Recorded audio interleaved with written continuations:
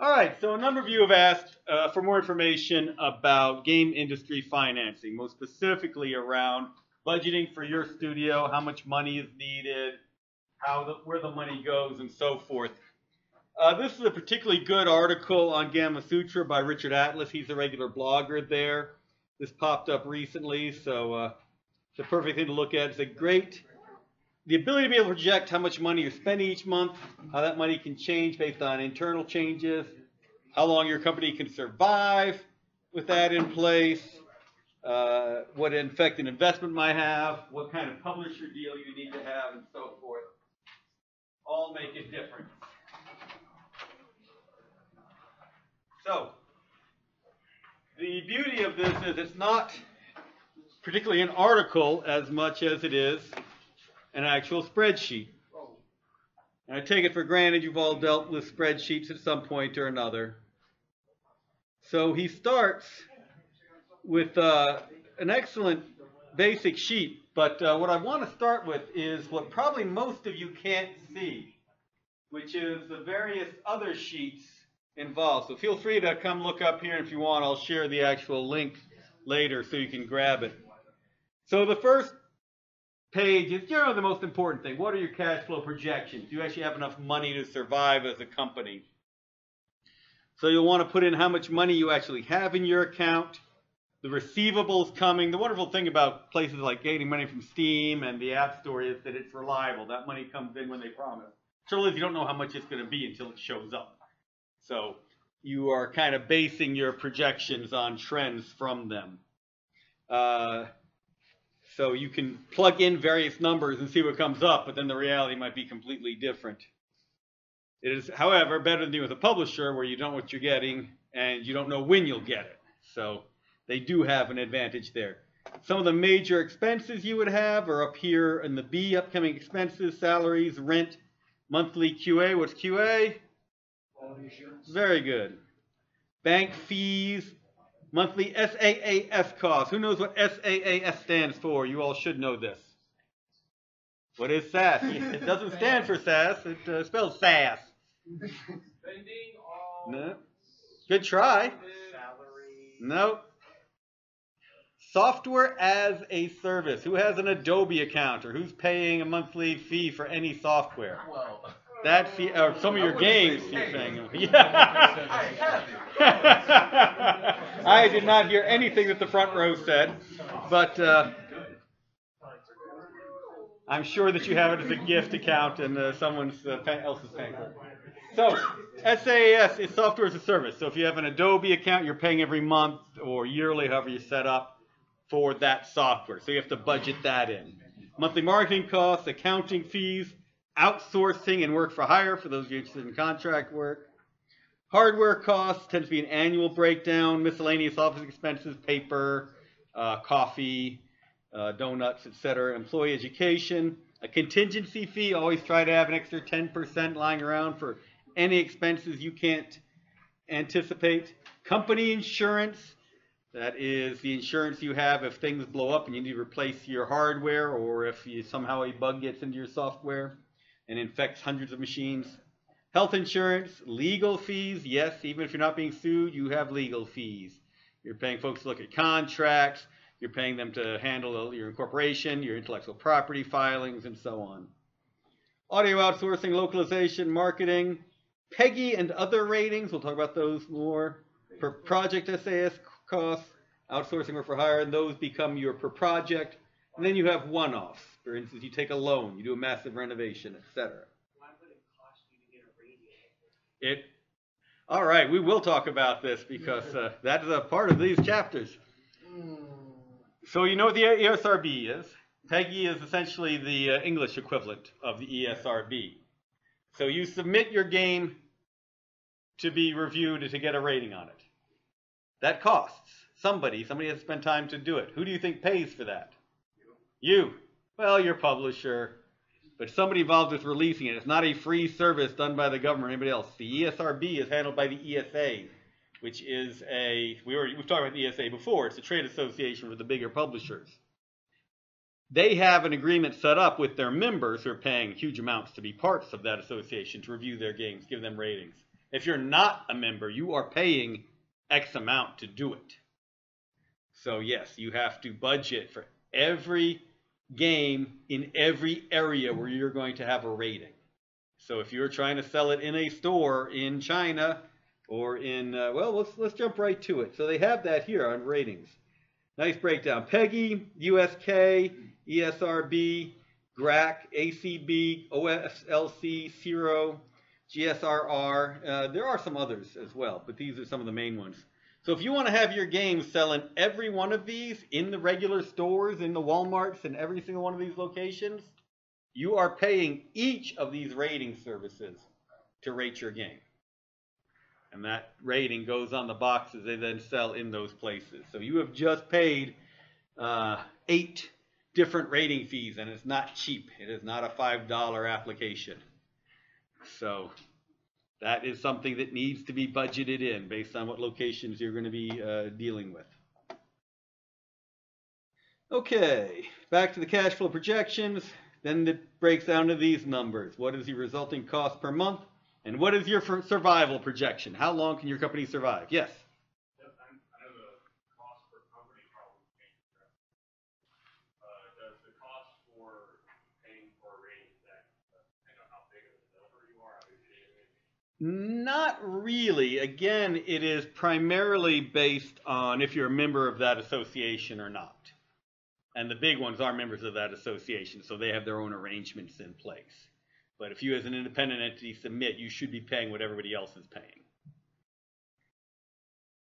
Uh, on the other hand, within the ESA, your costs to be a part of the ESA are based on your revenue. So theoretically, the bigger ones are paying more to have it because they're paying more for their membership. All right, salaries, we've talked about that before. Generally, you want to break down uh, the base salary of that person for the year. They have uh, ways that you can set in government contribution. There's some places where the governments will pay a certain amount of uh, people's salary. We can even get that here. If you're a new employee, you might get on the job training or be part of an apprenticeship program where the government's paying your salary instead of the company in order to get you training and make you a more hireable individual. If you have a base salary, you'll have potential raise estimated in there. You have the raise salary government contribution. Uh, you'll often find benefits put in here too and matching. So if you have retirement thing, the company might match it and therefore they would have to calculate that matching amount into this. And I didn't announce to kill our cell phones at the start of class, did I? So please turn off your cell phones.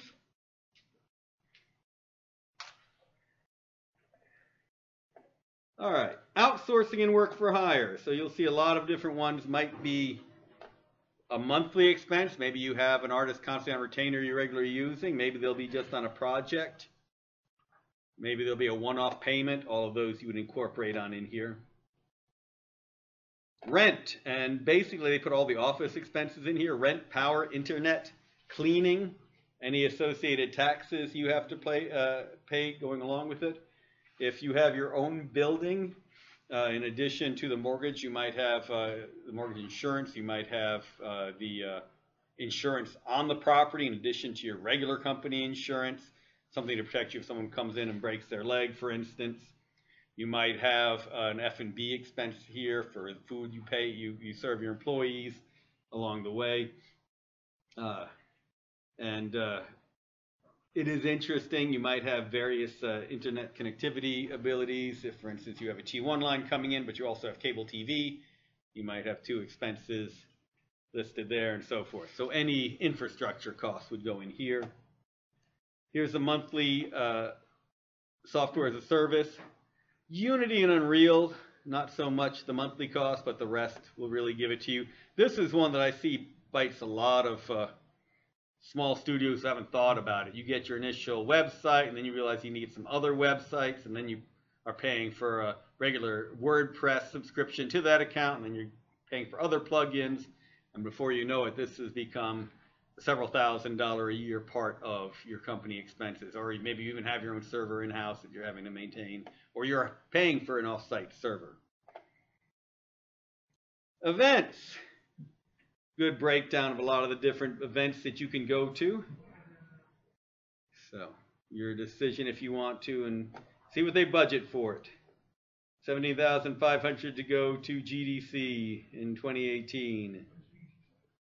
Well, in that case, they probably brought the whole team. You notice that then they have 2018 as a or 2019 as a cheaper expense of 10,000, bringing less people, etc. Uh, hotels are these days the big part of that expense, but if you have a booth, that can suddenly ratchet it up accordingly as well. I realize there's no there's no E3. Yeah, you're right. It's uh, it used to be not a bad idea for a developer for a studio to have a presence at E3, and they've got a side arena for that. But these days, really, for a small studio, unless there's some special sales or marketing function that you have to do, there's not much reason to have a booth there. Being present there is still not a bad idea. And uh, E3 is also run by ESA, if you didn't know that. All right, so some marketing expenses. YouTube ads at the Switch launch for their game. Uh, PR help for PAX East and for their launch. New merchandise. Facebook ads, Instagram ads. Some of these are one off, some of these are long term. You might have a marketing uh, service that you pay. PR, public relations, is separate from marketing. You might have one group to handle your marketing and one group to have, handle your PR. And then there are associated costs with those as well. Okay, we talked about the ratings agencies, per project SaaS costs. Tax credits is an interesting one. You can tell this is a, a European, actually British group, because he spells checking earlier with a Q. But there are more tax credits available overseas for game and software developers. Obviously, we have them in Georgia, so that is something you might need to take into account here. However, budgeting that is an interesting arrangement. That's its own class. Your corporate taxes, how much you have to pay, how much you have to set aside to pay in your corporate taxes. And then projected game sales over time, if they're selling well versus if they're not selling well. Uh, project 2 sales, Project 3, Project Future sales, good ways to project what your sales might be down the line. All right, if you like, I'll go ahead and share this uh, link, but really I'd rather you go ahead and grab it on Gamasutra because he has a very good blog, well worth following if this is uh, areas that are of interest to you. And the numbers going in, the amount of money going in, the amount of money going out can be significant. Any questions on the Richard Atlas spreadsheet? All right then. Let's go ahead and discuss the quiz from last week. I haven't really taken a look at how well you did. A lot of later quizzes on this one. Uh, so let's see how everybody did on working with IP. Let's see, quick view. All right, not too bad. Not too bad. Let's go through them one by one. According to the textbook, some say that using IP suppresses innovation. True or false? True. And why is that? It kind of, it uh, makes you make one type of. Makes you make one type of game. can't really like think about what you want to do in the game. Like the end the IP, they said, all right, it has to have this. Right. There are certain contra- contractual boundaries that are established that you cannot go past. On the other hand, what we've talked about before is that some constraints do inspire creativity. So I kept that in there, but still keep in mind when you are have those kind of constraints, you can't exactly have revolvers and uh, tanks in a uh, Star Wars game. You are forced to think in new ways and come up with interesting ideas. Of course, the fact that you're limited to everything that's only in the movies is a whole other issue. IP, an idea or collection of ideas that is owned by someone or something and is a result of creative work, stands for intellectual property. What is that opposed to? What's the opposite of intellectual property? Physical property.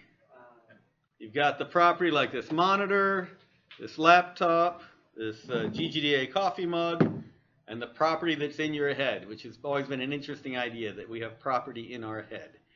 I've known people with vast expanses of land in their head that seems unoccupied, but we do own our own intellectual property. And this is an important concept to keep in mind for all of you who do end up doing contract work at some point. Your expression of a work is still your ownership, even if you're working in somebody else's world. So if you work for um, Ubisoft and they want you to draw them a new assassin. You draw them a new assassin, and they never get an assignment of rights from you. You still own that expression of the idea. Now, that's why you'll see things called work for hire, or we own all your rights, or we own your rights plus everything in your mind forever and ever, uh, which isn't too far from what some of the contracts call for. But if you create something, even in this class, it is yours. Now, if you create something in conjunction with the rest of your team, then it jointly belongs to all of you. And none of you can really do anything with it without the others' approval. Which of the following is not a legitimate reason to use a licensed IP for game development? A. To mitigate risk. B. Maximize sales. C. Minimize marketing expense. D. The design phase can be skipped. Or E. Many sales will be based solely on the IP. The design phase should never be skipped. Good. All right, next question. Sequels are always based on existing IP. True. I mean, something had to have come before it for you to have a sequel to it. Now, there have been what are called um, moral sequels, or uh, oh, there's another term for it. I can't believe I'm blanking on it. Spiritual sequels. Thank you very much. So this game is a spiritual sequel to that game. In other words, I don't have any of their intellectual property, but I wouldn't couldn't have done it if I hadn't played their game first and been so inspired. You don't want to ever say you're ripping them off. You don't want to ever rip them off. You want to pay them homage. You want to say, here's what I liked about their game, and here's how I'm doing it better. Here's how they inspired me, not here's how I'm doing exactly what they did. As a game developer, you can choose any existing IP with which to work. True or false? False, false, and then false. And it's so odd. Doing Kickstarter this past month, seeing a number of different people trying to kickstart projects based on intellectual property they had no rights to use. It was just the weirdest thing. These things would pop up on Kickstarter. A million people would suddenly say, "You have rights for that," and suddenly Kickstarter would pull the the, uh, the plug on it. So I, I'm amazed that people don't understand this. If you have not come up with it, you can't be making money off it. Now, you will see companies looking the other way when you make mods or when you make fanfic based on their games, as long as you aren't necessarily profiting. And sometimes even when you are profiting, this whole thing with Machinima. Uh, who is a fan of blue versus red? From Halo. Red versus blue. Gray versus fuchsia. Whichever ones they are. Yes. Uh, by uh, Rooster's Crowing Teeth. Um, uh, but they made a significant amount of money off of the Halo game engine, and essentially off of the Halo IP. But uh, Microsoft and Bungie never really came after them because it supported them so well. Don't count on that. Pardon? They made Grifball. That's that's from the show. Yeah, they just profited off of it. They sure. They Grifball when you know it's like a game. So, but the original money was definitely from their direct uh, use of the Halo engine. Uh, let's see. Being a fan of an existing IP qualifies you to develop a game for it. False. And even beyond what they talk about in the book, I found that people who are too deeply vested in a game have a hard time, or in an IP, have a hard time pulling themselves out of it enough to make a good game based on it that's different from what's come before. They're too locked in to what exists and aren't re- re- ready to take those constraints and build something new and better. Wikipedia is a safe and reliable source. We could just end it right there. It's a safe and reliable source to use for research of an existing IP. it's a good starting point. A lot, a lot of Wiki- Wiki- Wikipedia uh, pages now they have like citations that like real like like actual reliable citations. That is very true, and there are still ways to get in there and hack most of them. So yeah, never count. I have dear friends who are involved with the Wikipedia project and have been since it launched. They'll be the first ones to tell you don't rely on it. Uh, if an owner of an IP approaches a developer about creating a game, the most important thing that will happen in the initial meeting is A, they will give you a bunch of money. Oh no, A, the designer should ask the right questions to establish constraints. B, the owner should describe to the designer what the game should do. C, the owner should furnish the designer with headshots of any actor or actress associated with the IP. Or D, the owner D, the owner should indicate how much he is willing to pay for the project. Or E, the designer should inform the owner of the IP what the mechanics will be. Establish constraints. And one of the interesting parts about this, we think about the IP being something the developer or the publisher pays for. Someone owns Harry Potter, uh, Lord of the Rings, Star Wars, so the developer, or the publisher will have to pay for it. There are people with IP who want it turned into games who no one's going to pay them for their IP. They have to pay developers to do that. So it's not a bad idea to sometimes take advantage of that. For instance, here in town, uh, Auto Trader is a very significant group that put, put out a magazine, has a website for people buying cars. They have an Auto Trader game that they paid someone else to develop. Basically, their pseudo IP, someone else developed a game based on it, and they paid them to do it. That's generally considered advert gaming, but not always. Gaming is advertisements. Uh, if the owner of an IP, the owner of an IP should not have any input to the features the game will have. True or false? False. If the owner the owner has some of the best insights, you'll learn quickly where to listen to them and when not to. When working with a licensed IP, it is not relevant to know if any other games have been developed based on it. Definitely know what came before.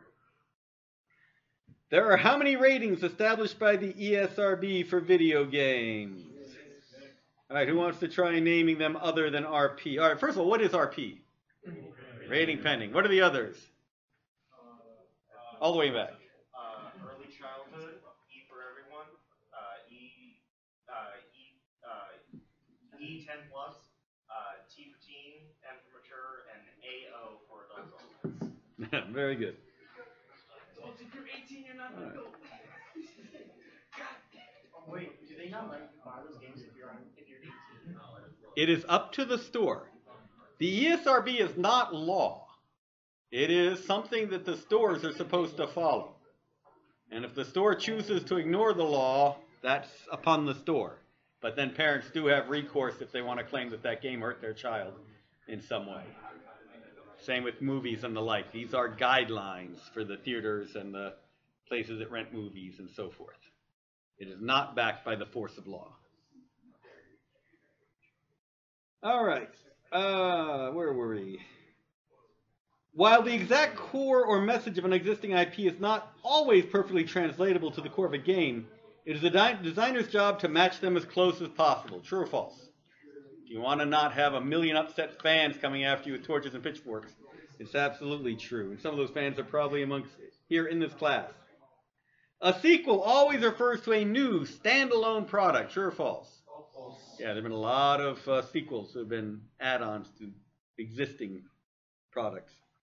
When working on a sequel, what happened in the previous game is of little significance. True or false? false?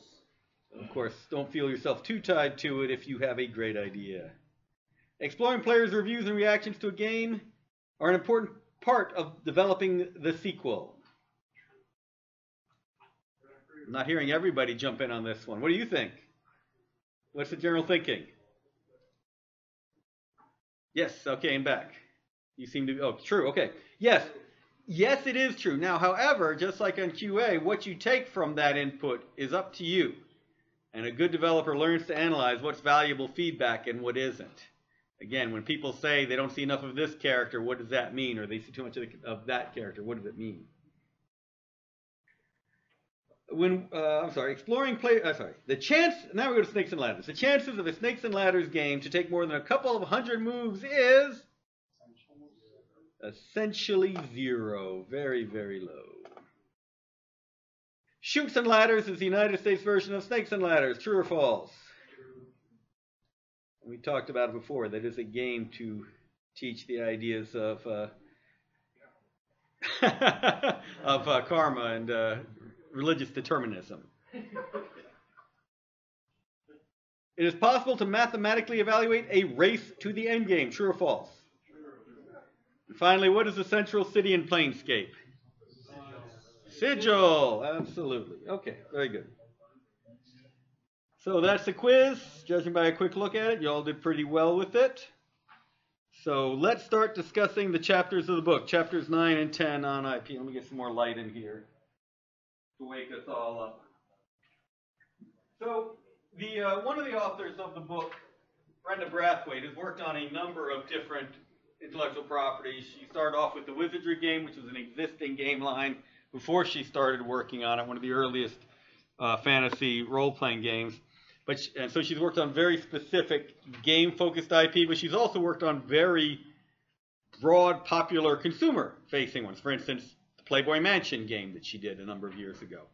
So she's got a very good input in, and eye on what goes into intellectual property in general. So there are a number of things we'll get into a little more detail about. Uh, she starts off talking about the types of IP, original IP. What's uh, an example of original IP in games? Being done by Games Workshop. They have their own IP that they can then license out to other people or develop internally. Licensed IP. Give an example of a licensed IP for a game. What's one that would have to be licensed? Star Wars. They'd have to go to Disney and say, let's get that right. They used to have to go to Lucas. Now it's Disney here. Sequels. And there's another one that I put in that you have to keep, be very careful and watch out for, which is contested IP. So the Tolkien estate had a big issue with this for a while. And Marvel has had a big issue with this. In the Tolkien estates, there was one license given to the movies, and then there was another license based on the Lord of the Rings books. So games based on the movies could only include elements from the movies, whereas games licensed from the books could include anything out of the books. So the movie folks were licensing games at the same time that the Tolkien estate was licensing games, which made for a very confusing setup and a real pain for the developers working on both of those. Uh, with uh, Marvel, everyone knows about X Men and uh, Avengers. Never the two shall meet in movies due to who owns which licenses and so forth. Though we hope that that's changing. But this is something developers have to be careful about. You'll have in your contracts clauses that say that whoever's licensing these have full rights to license what they say. But you still want to make it sure that there are not other competing licenses that they've given that stop you from doing anything. And this is especially problematic when you have a license from an IP that's being developed in multiple areas. Like if you have a book, if you have, if there's an overall property, let's say Harry Potter, though they did a very good job of not messing this up. We'll, we'll pretend they did. Got Harry Potter, the games, Harry Potter the books, Harry Potter the movies, Harry the Potter the ride, Harry Potter the merchandise, Harry Potter the sleeping bags, Harry Potter the drinking cups, etc., etc. And this becomes problematic if people have the ability to create new elements to the Harry Potter universe. So if I'm selling a line of Harry Potter pajamas and I have the right to create new houses, suddenly there might be a million fans who want the uh, teddy bear house or something like that. So you would have to be careful to see A, is there anything else out there you need to be careful about? And B, do you have rights to use that material as well? So for our own Fading Suns universe, we're very careful about this, that anything that we let a licensor make, we can use and anyone else using our license can use as well. So this has to be carefully spelled out, and a lot of licensors are not careful about this. So be aware if you see other things popping up, what do you have the rights to? Something Brenda doesn't go into here, but is also important, is the idea of an exclusive versus a non-exclusive license. If you have the exclusive game license, to Harry Potter. You're the only one who can make the games. However, you might have the exclusive P, uh, PlayStation license, but not the exclusive lace, uh, game license. Someone else might have the exclusive Xbox license, and then you have competing, competing PlayStation and Xbox games. You might have a purely non-exclusive license. I've got the non-exclusive game license to Harry Potter, so someone else probably has a non-exclusive game license at the same time. You're both making games. You want to try not to compete with each other. These things happen. These things happen especially with sports titles and athletes and so forth. And actors will do this. If you have the rights to their use their likeness in a game, you're not the only one who has the rights to use their likeness just for that project. So you need to be careful about how you're portraying them and making sure that you're not having too many conflicts going on with other uh, areas as well. All right, so those are some of the types of IP. One area that I do wish uh, they'd gone into a bit more depth with, because there really is a lot of nuance to these. Don't think you have everything unless you've gone through it completely. So why IP? What's an intellectual property you would like to design a game with? Anybody? Yes. What kind of zombies? Nazi zombies. Is that a license? Well, yeah, I can own the rights to the Nazi zombies, but like Sledgehammer and all the other. Gotcha. All these people make their own variant. Right, right, right. The Ac- Activision is like, or Treyarch is my favorite. All right, that's an interesting license. I would tend to think, yeah, I would do my own Nazi zombies if I uh, wanted to. I would go to the Deadlands folks for their Strange World, for their World War II game, and take theirs if I needed to. Other IP you'd like to work in? Nobody else wants to work in any kind of IP? Yes. Uh, Halo or the uh, anything by Platinum. Okay, why Halo? Why would you want to work in the Halo IP? Well, it's a game. Well, for me, it's a game that got me into gaming, or Okay. serious gaming, and I uh, it's an engine that I'm very interested in uh, learning and taking apart to learn about it. Okay, excellent. Good reasons. Other games, other IP people would like to work in. Go ahead. Just sort out. Let's say this old uh, PS2 game I used to have called Psi-Ops. Psi-Ops? I've heard of Psi-Ops. Why Psi-Ops? Because it was a game that was owned by Midway and it was supposed to have a sequel, but Midway professionally became bankrupt after that. Uh, Okay. It was actually a kind of more game I grew up with, but I would love to actually see the sequel to it. We'll do one more and then we'll analyze these uh, thoughts. Um, probably Bloodborne. Why Bloodborne? because not only is like the like the aesthetic really good, I really like the aesthetic of it, like the setting, the game world. But the, there's so far there's only one game's come out for it, and in the series, and it's only for the PlayStation. So I think I really just just so I could get one for like the for like the PC, I think is is enough could other. So I like this. Three very different reasons here. One is purely based on that it's a game that inspired him and he knows he could do something good with Halo. He knows he can do something interesting, and unique with it. Second one is a great business opportunity because something was promised that was never delivered. You have all these fans who are waiting for something that never came out. He can come in and feed that desire. You don't have to build your fan base from scratch. Not only do you have the IP fan base, but you have those folks who've wanted this product all along. And the third one is a similar idea, but slightly different. It's that same inspirational idea of a game, but one where he knows that the fan base's desire for more product has never been fulfilled, and he's got a broad area that he could fill. He wants to do a specific sequel, whereas he can do much broader area and get these fans on into it. So, three very interesting looks at why you'd want to do an IP, and all equally legitimate. Inspiration, a specific product that's lacking, or B, a specific fan, or three, a specific fan base that's never been really fulfilled. All of those are legitimate. They're artistic and commercial reasons to do it, and there's nothing wrong with any of those. All of those could probably end up having a good game done. So, when you're looking at an IP, there are a lot of reasons that you want to take into account. One of the big ones is is this a game I actually want to work on? I'm amazed at some of the games people have wanted to work on. I was approached at one point by folks with the Hooters IP. That didn't bother me as much as the folks approached me with the Scientology intellectual, though the L. Ron Hubbard Battlefield Earth intellectual property. So it's the question is what do you want to work on and then who do you want to work with? Some licensors are notoriously difficult. We had great times working with uh, uh, the folks at Games Workshop, even though other folks that had more negative experiences. We worked very well with them. Uh, Paramount, when we were doing Star uh, Star Trek titles, had had a reputation for being difficult to work with, but they'd been working so closely with Interplay for so long that they had ironed out their problems, and it had become a pretty smooth process by the time we were involved in it. So always interesting to look at the why and then the how will that relationship actually operate. The licensor, whoever that you're paying to have this license, or whoever owns the main IP, is going to want some level of approval. What does that mean? It rarely means that they can reject your entire game, but they'll probably have step-by-step process. Change this, change this, and a certain amount of time in which to tell you to make specific changes. So this is when milestones and a design document are very important. That licensor wants to know well in advance what you're planning to do.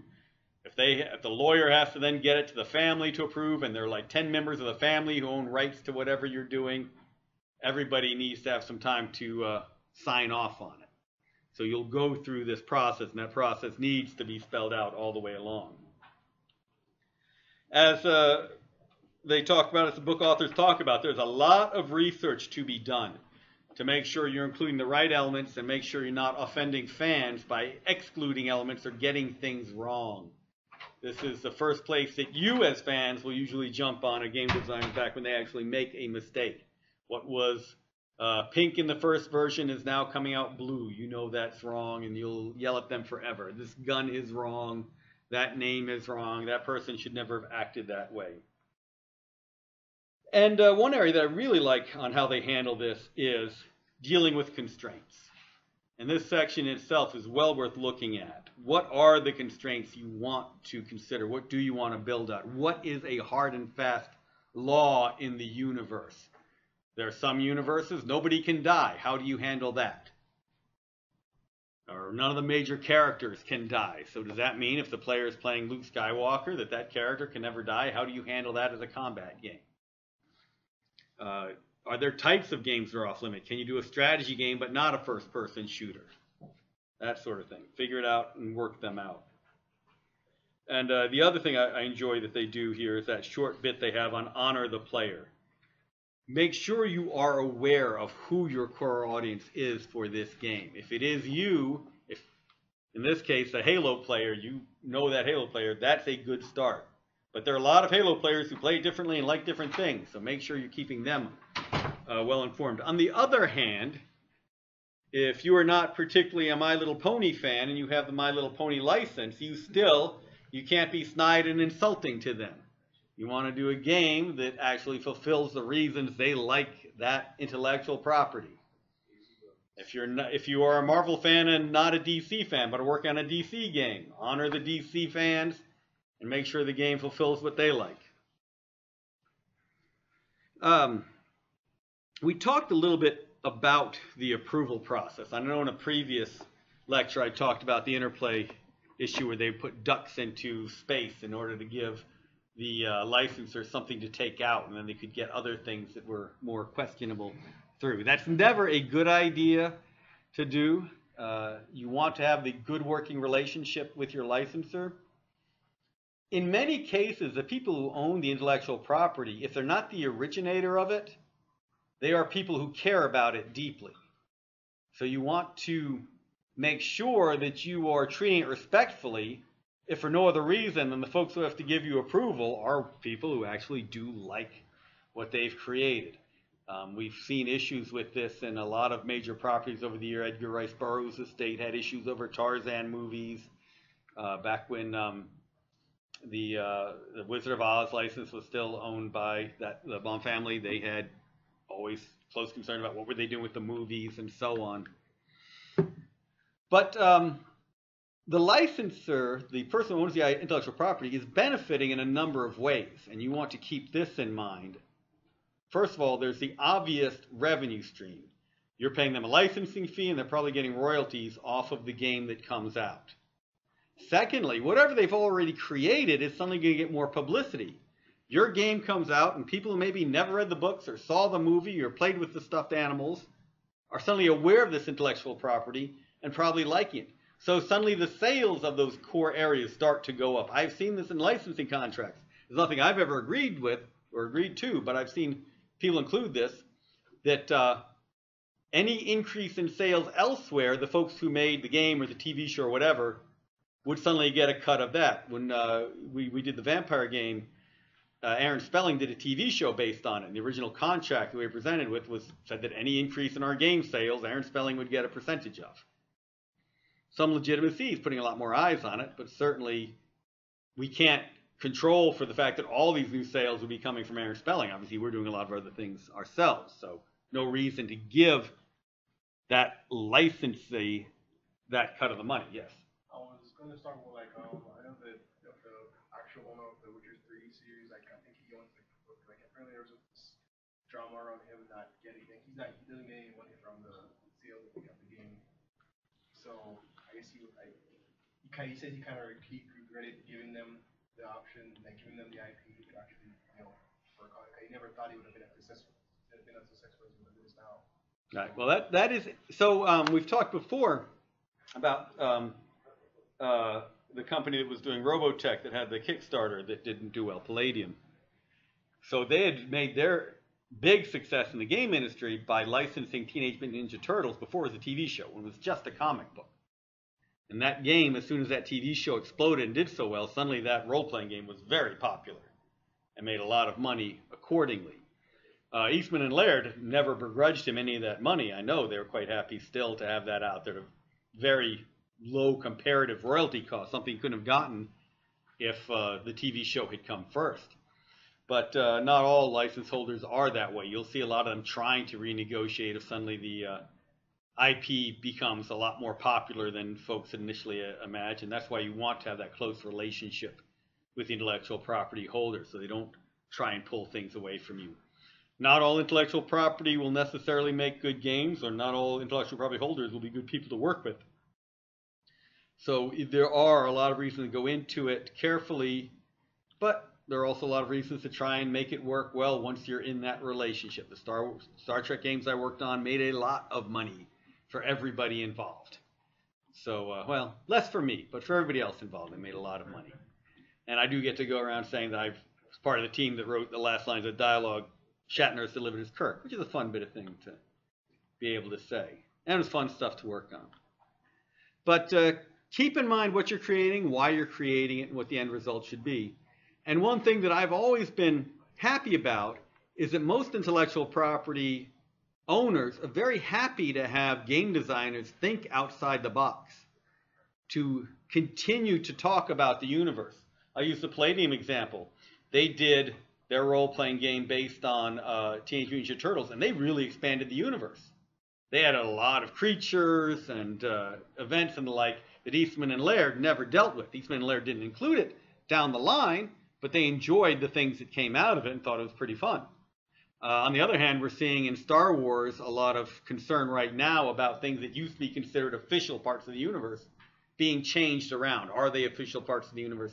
Are they not? What really came from before doesn't matter. Friends of mine who wrote novels in that universe are now not sure if their novels are what, are, what is called canon or not. And this is something you, as a game designer, want to be sure of. If there is an extensive intellectual property with lots of materials out there, what is considered official and what is not?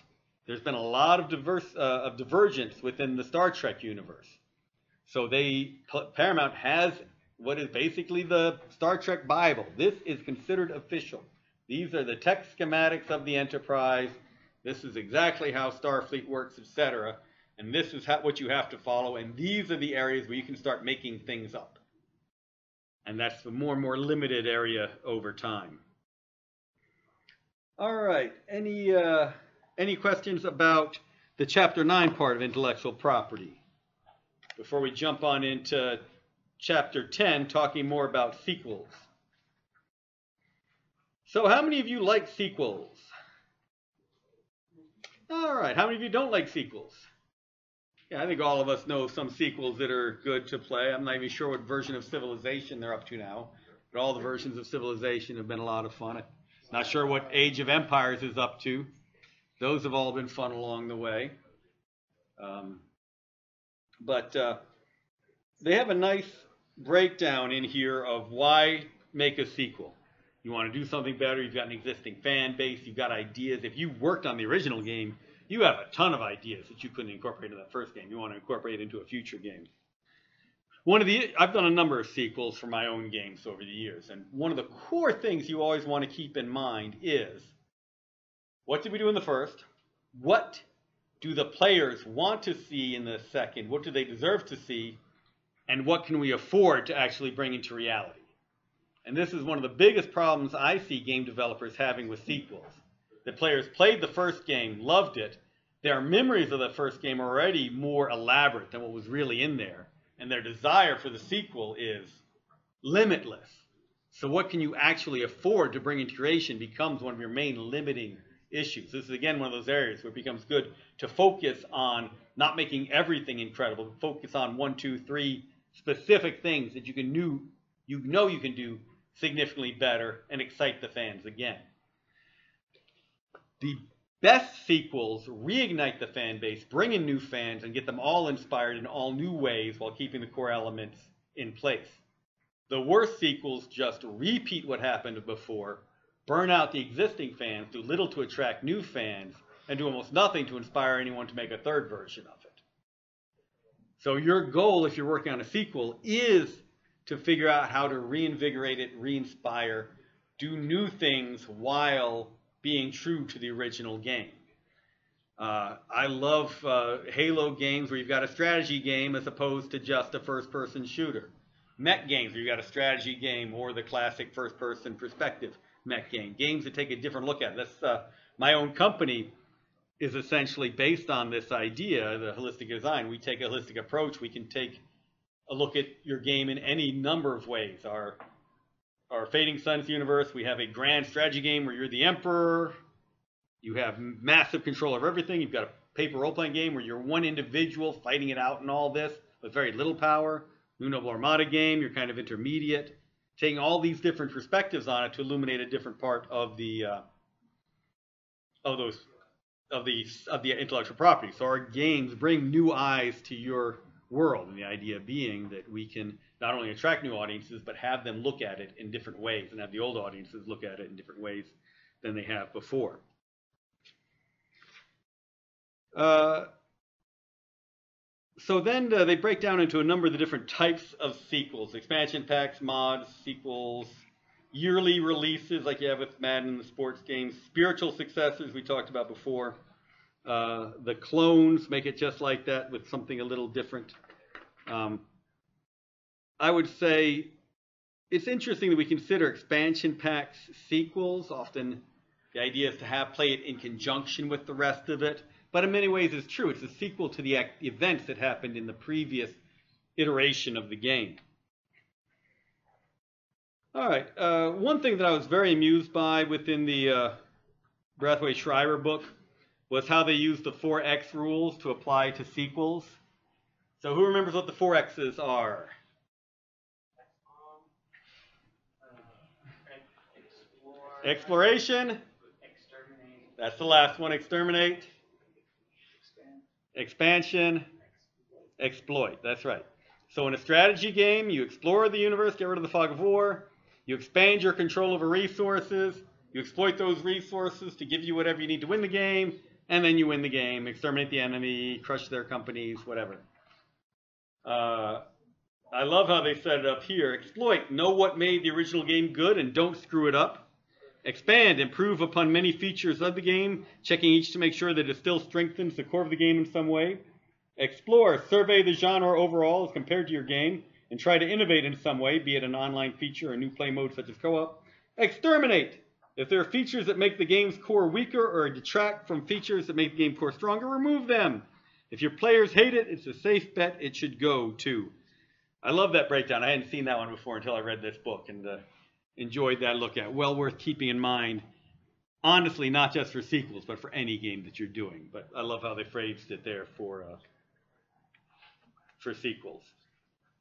Okay, that's a quick look at intellectual property and sequels. There are, in the KSU Business School, I'm sure, entire classes on intellectual property. There certainly are law schools, but uh, we will consider an hour and a half talking about it. I guess uh, one hour talking about it to be enough for now. Any questions before we go to a break? you are correct. Uh, 7:20. Come back at 7:30, and we will talk about Planescape.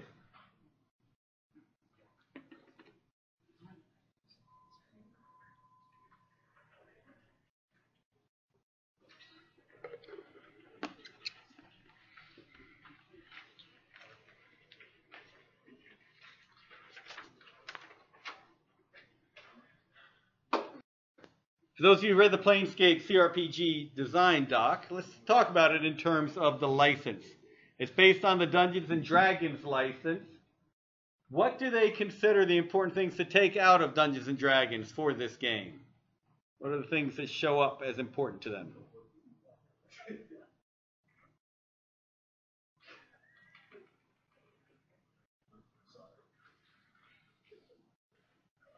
What do they consider things to be avoided? What do they want to make different from the Dungeons and Dragons games? They want to make, want to make it more gory. Wanted to make it more gory, more horrific, more emotionally uh, impactful. I think is a better way to phrase it. Um, what is uh, was an example of that? Uh, inflict pain in ways you won't believe. Spells that make you pity the target. So Fireball is a popular Dungeons and Dragons spell. They're not going to. Uh, Fireball is an elementary school spell as far as they're concerned. Uh, equip stuff that would scare small children. Be much more powerful than you would be in a standard Dungeons and Dragons game. Don't start at first level. Start with certain amounts of power. What are they uh, taking from the Dungeons and Dragons universe that they're building on? The Planescape setting, which was uh, one of the Dungeons and Dragons setting itself. Obviously, the monsters, the idea of the undead, uh, all of those uh, being a part of it. Um, the character growth and advancement that Dungeons and Dragons offers, even if you're going to uh, higher uh, limits with it. One of the interesting things that they say is they want to do, they want to push the TSR ethics code. TSR was the company that owned Dungeons and Dragons at that time. That's before Wizards of the Coast bought Wizards of the Coast bought uh, TSR, and then Hasbro bought Wizards of the Coast. It's very interesting because the uh, TSR Basic Ethics Code was very interesting amalgamation of ideas. So they had rules against male or female characters being dressed provocatively unless they were quote unquote of heroic proportions, which was their way of doing the Frank Frazetta, Big Conan, uh, Red Sonja characters, very muscular, big, yet still scantily clad characters, and allow it for them and not for other folks. Because one of the interesting things about TSR is not only did the rules apply for their games, they used to run the biggest paper gaming convention, Gen Con, and those same rules applied to anything that anyone wanted to sell there.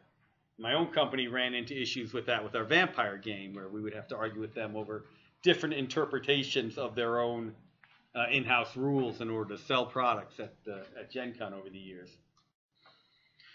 But what I think that this design doc does well, there's some issues with it. Uh, there are areas where I think that um, uh, the TSR ethics code actually won out for the better. They talk about this being, uh, I don't know, what was it, babes, babes, babes, or something like that. And I don't remember the game being nearly as focused that way as in reality than it was in their design doc. I think there are some places where the license had a good calming influence on them, and other areas where they really took the license and ran with it and did a lot of, lot of innovative things. The combat system, the powers, the spells. And most excitingly within the game was the interaction within your own party. You'd have a party you would build up. You'd have your one main character that you would play, and then other party members who would adventure with you. And there'd be constant interaction between you and those characters. And that different characters would stay with you based on whether you acted honorably or not. You would attract the more evil characters if you acted more dishonorably, for instance. And those characters and their interaction was really what people commented on in the long run in this game. They showed this one skull character who was with you from the beginning, and that was a very interesting part of the game all the way through. So, I don't think that this design doc was necessarily made to be an external document. Uh, there's a lot of things in here that make it appear to me that it's for the team to keep the team on track with what they want to create. Most notably being there are spoilers in this document. If you haven't played Planescape and you read through this, you have some a lot of knowledge leading up to the end of this game. This is not a document they wanted outside of their studio well beforehand. I'm not even sure this is a document they wanted in TSR's hands while they were developing the game. I have a feeling this was only meant to be uh, at BioWare slash Interplay during that time. Um, but uh,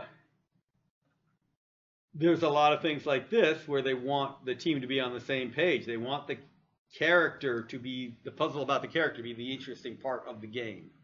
Why they died, who did it, etc. Making that a fun part of it. Oh, there's the total babes thing. This game will have lots of babes that make the player go wow. There'll be Finnish babes, human babes, angelic babes, Asian babes, even unbabe babes. And we'll all regrettably behave within the TSR code of ethics. I don't remember that being anywhere near that omnipresent as that line would have you believe. So I'm feeling the TSR did step down on that. Are Asian babes different from human babes? Not in my experience, but uh, it is uh, it is a bunch of odd phrasing. So, and I don't think it made its way in in the end. It certainly didn't come across that way. It certainly wasn't an end more babes game. Uh, and this is an interesting part of it. This is what I one of the things that I liked about it, and you should consider. It doesn't stop with the game. So the idea is be an immersive introduction to Planescape. So for those of you who have played Dungeons and Dragons, you're aware that you have the core game, but then you have these various settings: Ravenloft, Forgotten Realms, uh, Neverwinter Nights, etc. And Planescape is one of those. It's kind of like where all these different settings converge and a whole bunch more. So you're visiting all these different planes where weird things are happening and different rules of existence and different laws of physics and so forth apply. And that's what I like about what they did, did here. They want to take the feel of what TSR had created with Planescape, build on it, make it even better, but also excite players even more about it. You leave Planescape and you want to go play a version of the tabletop game. And for the uh, Last Rites team, you want to play a sequel to this game as well. So they're trying to enrich the entire intellectual property by making this game.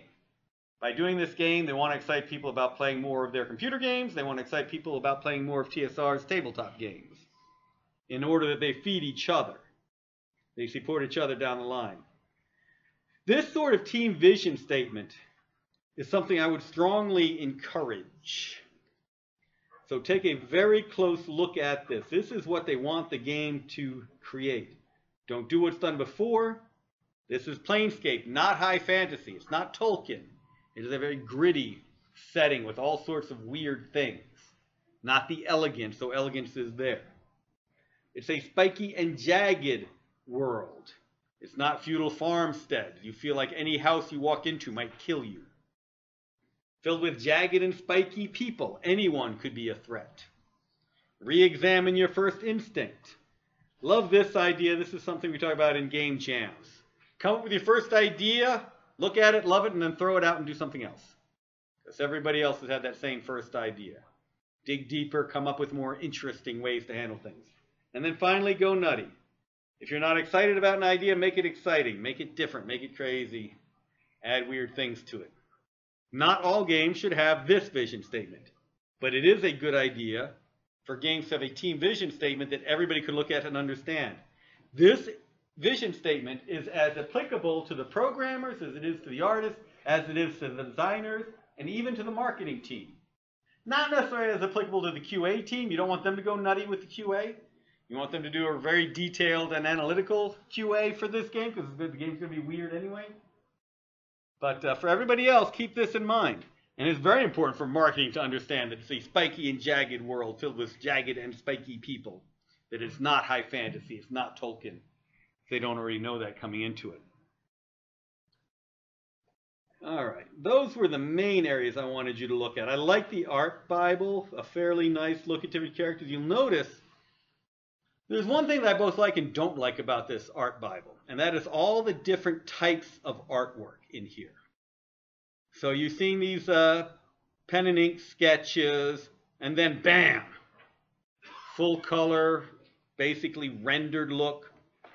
The skeleton looks very different from the folks come before. The main character looks like it, he's a different art style than the other ones.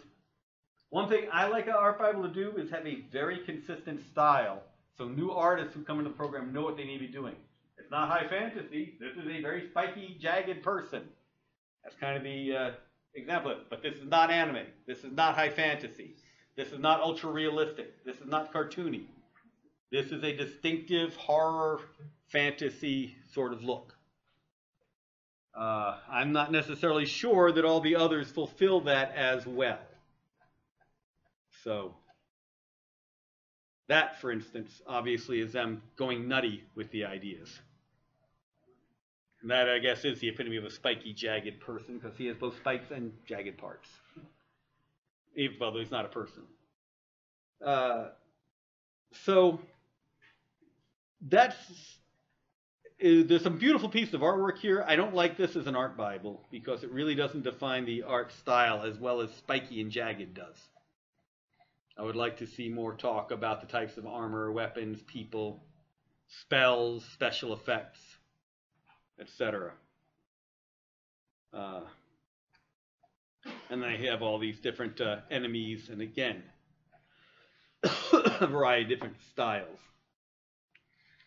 This bullet points issue is something that you would want to really put in marketing hands, maybe TSR's hands. So this is one thing I like that I won't necessarily push to have in a design document, but it's useful to have there. Good information for marketing. What are the selling points of your games? You do need your selling points, your competitive advantage. Maybe not out to this uh, depth. First computer game set in TSR's Planescape setting. Interplay is the only company to ever have this license. 40 different creatures, 20 quality spells, 70 plus weapons. You can just see that on the box cover right now. And I think some of that already was. Wep armor you can customize. Non-tileable settings, shadow and colored lighting effects, motion capture characters. Play characters immortal, has powers no other characters ever had. Etc., etc. So that is something you feel that they did just to plop into marketing's hands and also into uh, into TSR's hands. And then this whole goal of the game part at the end, obviously there to give the whole team the walkthrough and let them know what they need to do about level creation. All right. So all in all, actually, despite some minor grievances with the doc, I think it's a very good look at how to do a design doc based on an intellectual property. It's a very honest look at how to do it. So if you ever have to do one, well worth pulling this out of your back pocket and examining uh, what they did. And you get to see all their town layouts and the like. And the rest of it is pretty much level, level, setting, story, etc. You don't start out at first level. This is what differentiates it from normal AD&D. Your actions define the character, not what character class you choose, etc. All right, any thoughts or questions about Planescape? Okay. Let's go ahead and talk about a very different game, Chutes and Ladders. Not exactly a licensed product. However, because you're now getting into your game dev side, I thought it was time to talk about actual ways to analyze your game. And this is the first very good way to break it down. When you're looking at your own game, you want to start looking at the math behind it. We've already talked uh, very briefly about probabilities. We've talked about different dice types, different results you get from dice, different results you get from cards, etc. And now he's showing you this. One thing you'll find in the industry is there's a lot of mathematical analysis of the games we create. How many different combinations are there?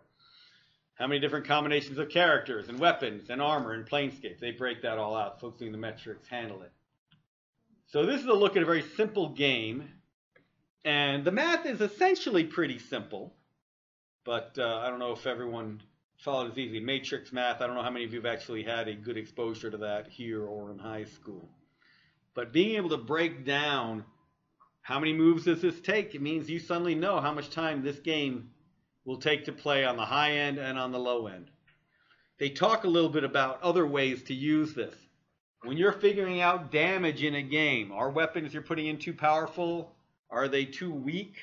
Is the armor too powerful? Is it too weak? This is how you calculate that. Are we doing enough damage? Are we giving characters enough experience to get them to the level they want to be in enough time?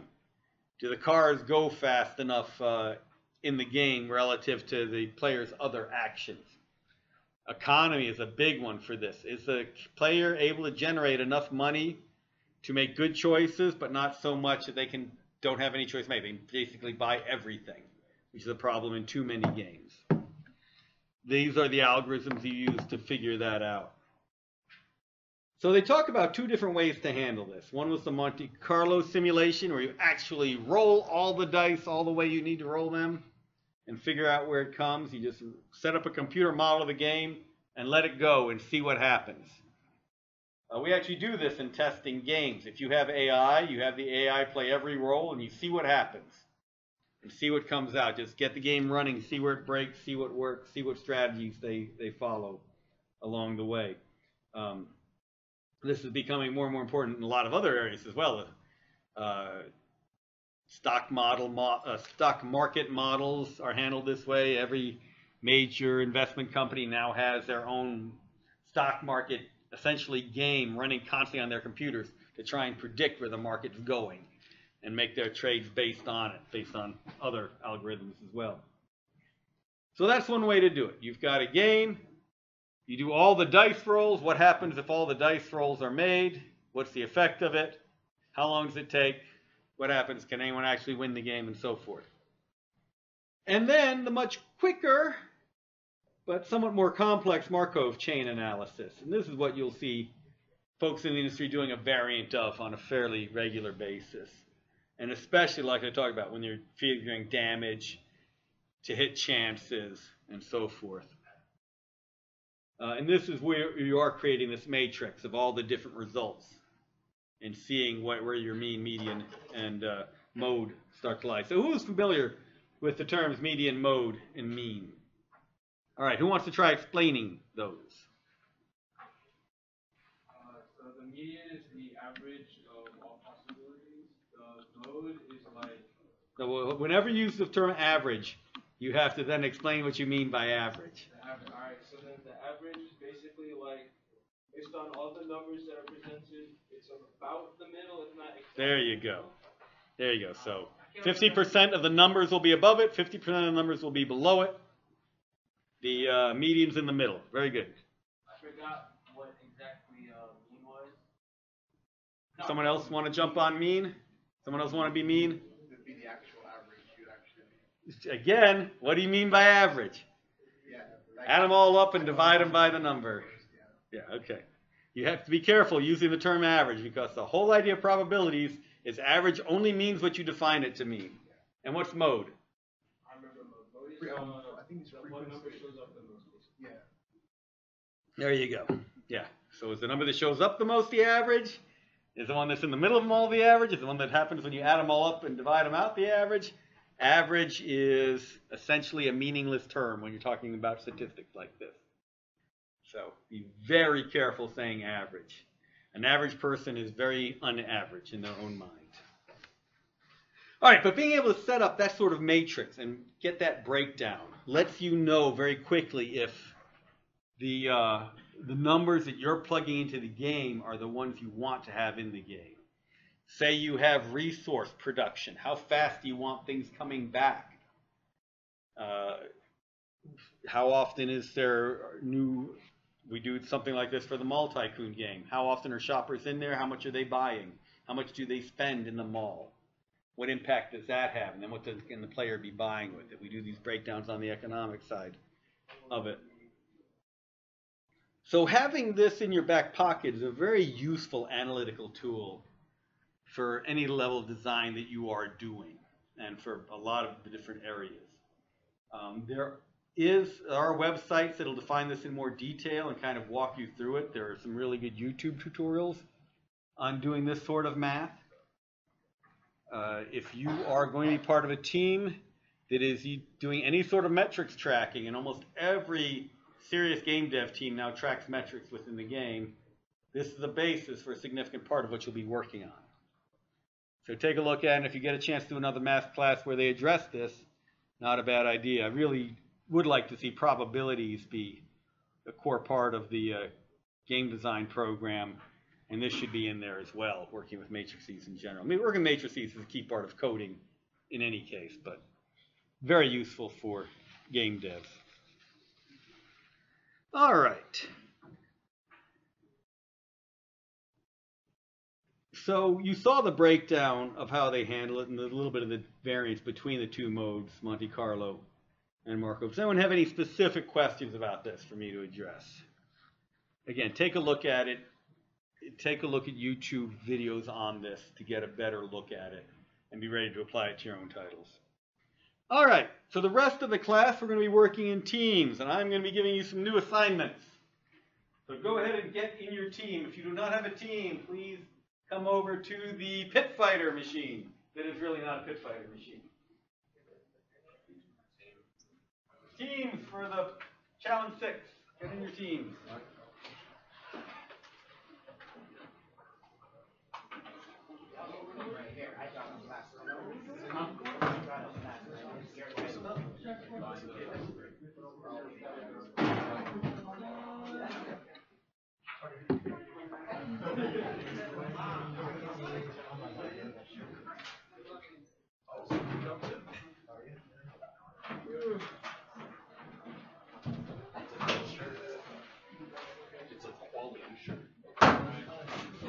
conscience.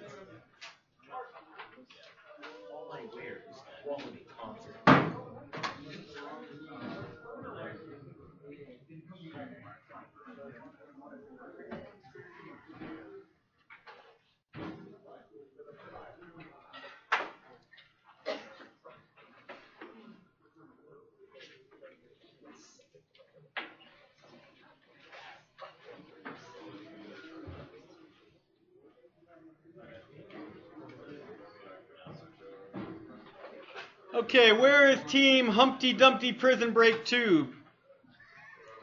Team Back to the Crack. Have you worked, and all the people in that team, raise your hand. Have you worked with those people before? Have you worked with any of those people before? We have one person in each team. You have. You worked with one. Okay. Um, let's see. Team Cheeks Production, raise your hand. Have you worked with any of them before? You now have a new team member who's been hired.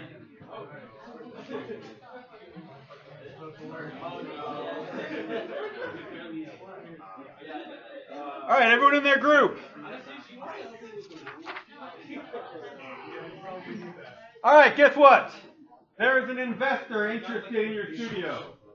But your investor wants to see some more things from you before they're going to put money into it. First of all, they want you to have a studio name. You haven't already got a studio name. You have to do one. Add it to your discussion thread.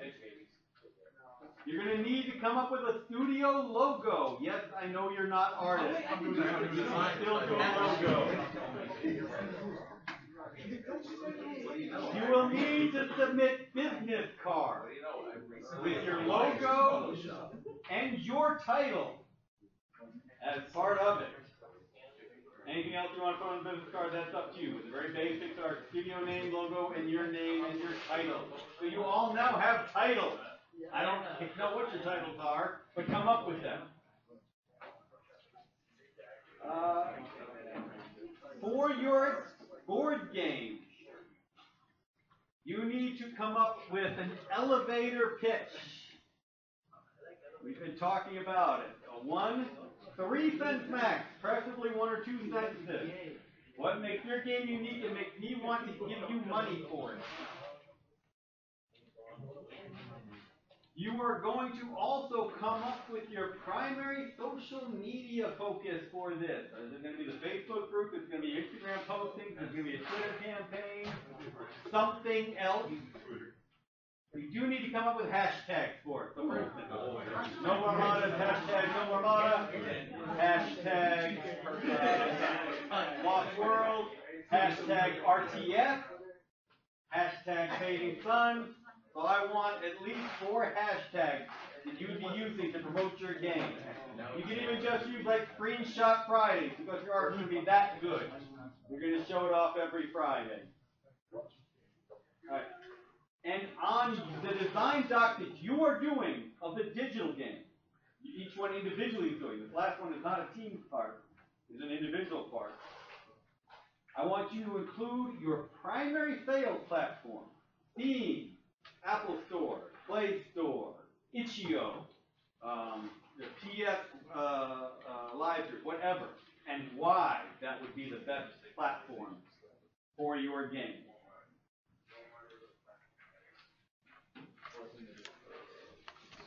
And I will go ahead and do the last thing. I've been debating it, but I think it'll be a good one for everybody here to do. You knew it was coming after I talked about it in Planescape. Yes, yes, the vision statements. I want three things about your game that everybody should know and that make it unique. So you can refer back to Planescape.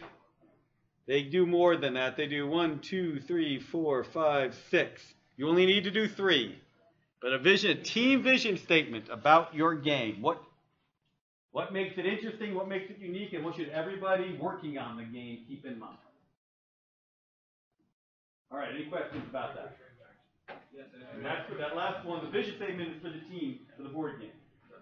Only the sales platform is for your design doc. Everything else is for the team project.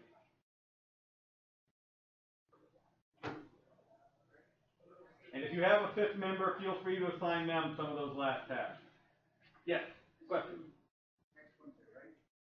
A prototype of the board game is due for play testing in class next Wednesday. It is not due to be turned in for a grade then.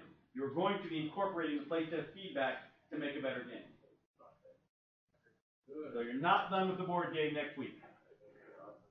Any other questions? All right, get to work.